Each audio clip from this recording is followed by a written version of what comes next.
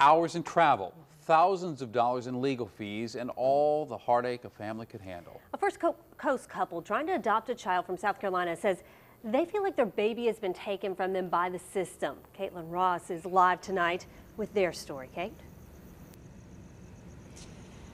Heather, this family already had plans for their little girl. They wanted to take her to the park with her sisters, take her to the movies, ice skating.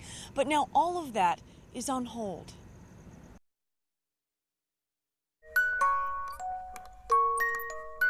When I'm putting the, my children to bed, I'm like, if is she put to bed every night? You know, does someone read to her?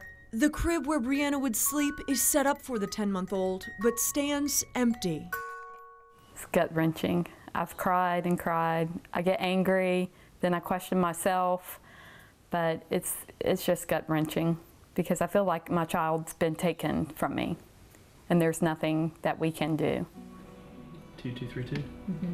Kelly and Chris Woods have been trying to adopt the baby girl from South Carolina for seven months. Chris, a firefighter here in Jacksonville, and Kelly, a stay at home mom, already have three children of their own, but say they felt like they had to help save Breanna. They've spent more than $15,000 in legal fees, complying with every request of the South Carolina Department of Social Services, but still, they were denied custody. Just can't go quietly and deny. There's a baby girl with no other voice at stake here. The child's biological father is Kelly's cousin, but has given up his parental rights. Her biological mother is in prison on drug charges, but has legally signed over her parental rights to the Woods. She wants them to adopt her baby. We've been very open with each other. Um, and she still very much wants this. This is her wish. But the Department of Social Services in South Carolina won't allow that to happen. The baby is living with a woman named Rebecca Holland. The only connection she has to the baby is she was a roommate of Breanna's biological mom before she went to prison. In court papers, Rebecca Holland says she takes the child with her to collect junk around the city so she can sell it. While she did not want to talk on camera, Holland told First Coast News Breanna had lived with her since birth and she wants to adopt her. But the Woods say it's not what her mother wants. She's scared for her daughter to remain in custody of this woman. But last month, a judge ruled that Breanna would stay there. The Woods say against her mother's wishes. And she was devastated. She was in tears. I mean, she wants nothing more than that for us to have her, to have the baby.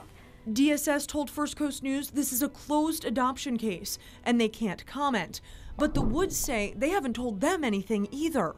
Uh, we that's what we keep asking why, why, and no one can give us that answer. So for now, they wait and worry about the child they already consider their own. She's in danger. She's not healthy. And, you know, I thought DSS and everything was there for the children, they're not.